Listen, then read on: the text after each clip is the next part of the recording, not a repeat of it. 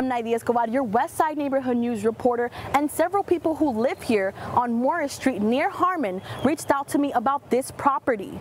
Some may consider this an eyesore for their neighborhood. I took their concerns to the city, but while I came for myself to check it out, I noticed code enforcement put a notice on this property, but not on this one.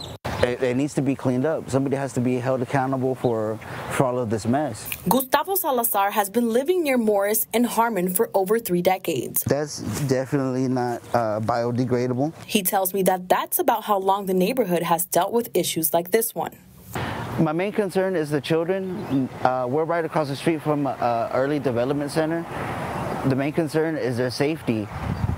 This obviously isn't safe for any pedestrian a grown adult, much less a child, to be out here walking or for anybody, for that matter, to be out here. Gustavo tells me these conditions didn't appear overnight. He blames years of neglect by the city. It's a whole pathway.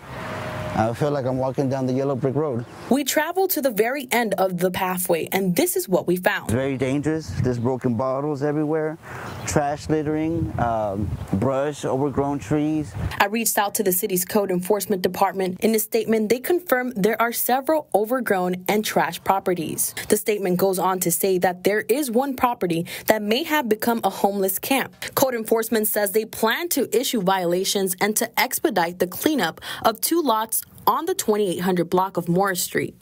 While we were on Morris, we did spot a code enforcement crew putting notices on some properties. The city wants to hold us, uh, you know, to accountability for our property and for the trash that we have in front of our homes.